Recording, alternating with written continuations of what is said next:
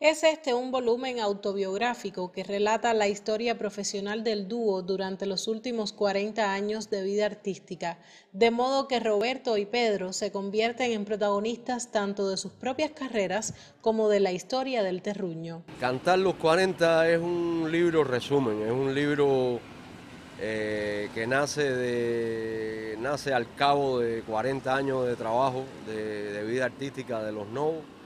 y que pensamos que era necesario, bueno, de alguna manera agrupar eh, los principales sucesos de esos 40 años, las cosas más significativas que ocurrieron. Y, tratamos de contarlo además de una forma sencilla, de, tal y como sucedieron, sin, sin mucho eh, sin mucho enredo literario. El libro fue elaborado a partir de una suerte de artículos de perfil memorístico firmados por Roberto Novo o como lo califica su editor Alexis García Somodevilla, es un libro testimonial de acento autobiográfico. Los Novos siempre hemos estado en Cienfuegos, siempre hemos hecho nuestro trabajo aquí y, yo creo que el libro,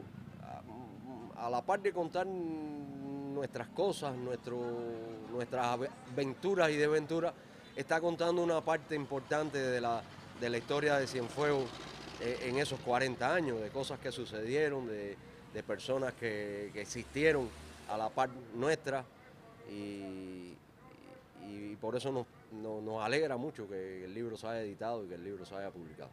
La agrupación formadora a su vez de nuevos talentos mantiene viva la canción trovadoresca, de modo que Decirte Cosas de Amor fue el mejor espacio para la presentación del título, donde sonaron acordes de varias canciones escogidas entre sus más de 200 composiciones. Aliana Armas Enríquez, Notisur.